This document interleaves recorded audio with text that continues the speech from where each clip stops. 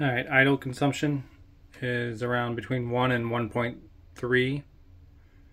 Right now it's sitting at 1.2. Breakers are all off.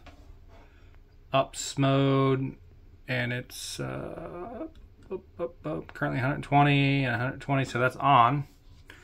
So if I turn off the EPS switch,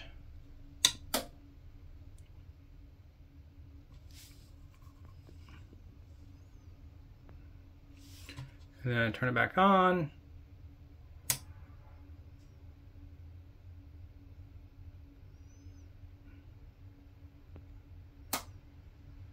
All right, completely on. I'm back to 1.2 amps. So that's about 52.8. So 52, 10. So you're looking at 62 watts for my current setup for idle.